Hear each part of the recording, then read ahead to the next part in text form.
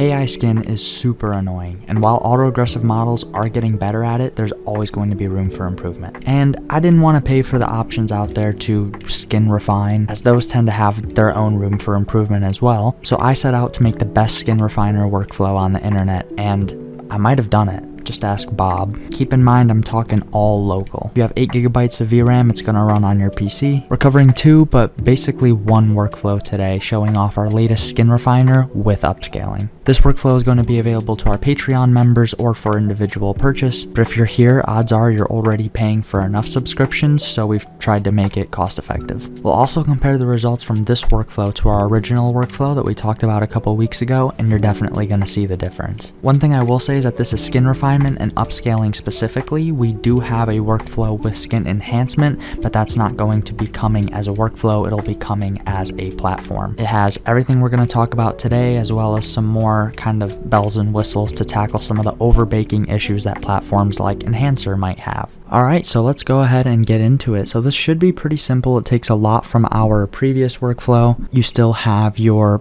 face parsing toggles here, so if you want to keep anything consistent, you can go ahead and do that here. For example, in this case, eyes, upper lip, lower lip, cloth, and you'll see the impact of your selection here in just a second as we go through our generations. So you've got your load image here, so this is kind of our base. This was generated with Midjourney. And so basically what we'll do right out of the gate is generate an overlaid skin layer. So as you can see, we kind of bring out some of these pores, get some of this additional detail out. And here's a comparison between the original image and then the new skin refined overlay image. And see, this is where a lot of people tend to stop but you can go much deeper than this. For example, if you wanted to keep things consistent, we overlay the eyes, basically your selection from all the way back here, back onto the image to keep basically just the skin while maintaining the critical features. And this is kind of what I mean. So for this character, her nose is pretty small. So in this particular selection, it probably would have made sense to select her nose as well. As you can see, it's kind of made a little bit larger here.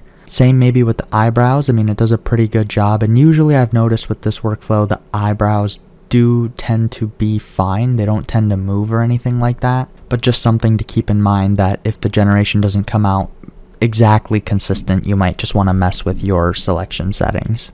After that, we run the image through a face detailer so you can see the result of that here. Again, we'll compare it with the original image. Um, as you can see, your selection, again, the nose changes, the eyebrows shift a little bit, but the eyes and mouth and lips remain completely the same, just like you had selected. I think what's really interesting to look at here is the hairline as well, right? Does a pretty good job of that. You'll notice this mole down here. Obviously, when we talk about refinement and consistency, you want to make sure that you're keeping as many of the critical details as possible, right? We'll pass it to our first upscaling layer and you can see we're starting to really bring out some of that detail. Here's that comparison. And then finally we have our last upscaling um, pass and this is kind of the end of the workflow. So as you can see, pretty phenomenal result. And there's obviously a lot of adjustment that you can make to this too, your level of detail and such. And you might be saying, well, how is this different than the original workflow you showed us just a couple weeks ago? Well, let's take a look at the results. So I'll give you one more good look at this image here from our new workflow. Then we'll switch over to the um, original workflow that we had talked about. And when we look at this result, I fixed a lot of these problems that we had in the existing workflow. For example, while we do add detail back, you can see it becomes really scaly and really baked.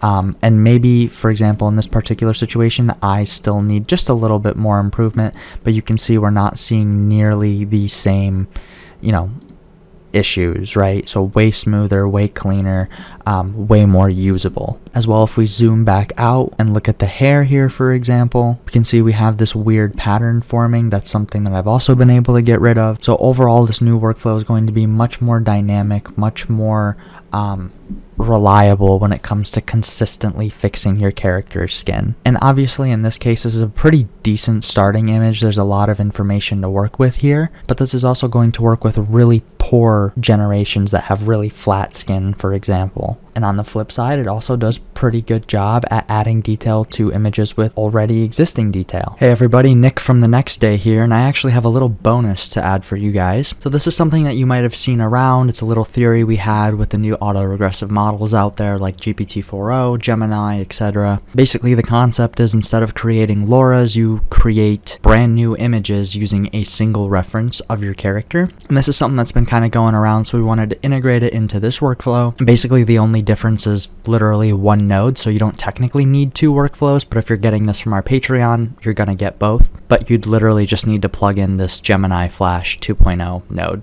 that's it. And the results are pretty good. Definitely not perfect. I think once we get our hands on Flux Kontext in here, it's going to be a lot different. But again, this is kind of just like a beta, a test. But I've seen some pretty good results from it, and once you run through the workflow, you can see with the upscaling, you know, the result is pretty good, not great. And this is just kind of an inherent problem with Gemini, unfortunately, and that's kind of why I say Kontext would be better here. You can see the cigarette kind of gets messed up a little bit, little weird noise here. So I'd say like one out of five images that Gemini produces is going to be good. So instead of just having it run through the workflow every time, you could just run it, preview your image, and cancel, or move forward with that image if you want. But yeah, this is just a little bonus that I wanted to add for you guys that you will get if you're getting the workflow from our Patreon. And again, coming back to the masking idea, you can see here I left out earring, which is why it gets adjusted and kind of turns a little funky. But if I were to come back here to our selection and select ear, R, earring,